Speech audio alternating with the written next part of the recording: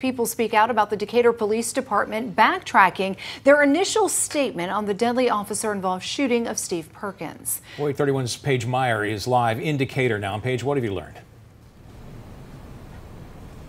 Dan Marie, today I spoke with members of the Morgan County NAACP, and they tell me that they are outraged that the Decatur Police Department released inaccurate information. In a statement that the Decatur Police Chief Todd Pinion released last night, he said the department, quote, erred in stating Mr. Perkins refused to drop his firearm prior to the shooting. He says the department now knows the officer, quote, identified themselves as police and ordered Mr. Perkins to get on the ground prior to the officer firing rather than ordering him to drop the weapon at the time we initially reported the morning of the shooting. The president of the Morgan County NAACP, Rodney Gordon, says it's unacceptable that the Decatur Police Department released inaccurate information. He wonders what else the shooting might be incorrect.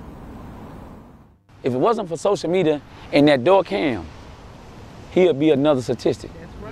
Yeah, they, just like they lied. If they if they lied if they if they lied with the camera, oh my goodness, what in the world you think they would do without the camera? Gordon says whoever made the false report acted unethically and wants them to be held accountable.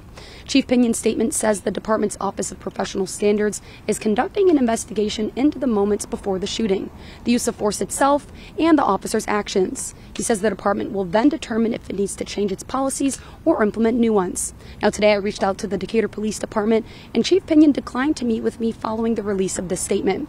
Now, I also reached out, reached out to ALEA for a comment on Chief Pinion's statement and whether this release of inaccurate information will affect their investigation. But as of right now, they have not gotten back to me. Now, I will continue to work on bringing you guys information on this investigation and will bring it to you both on air and online at WAAYTV.com. Reporting live in Decatur, Paige Meyer, WAAY 31 News.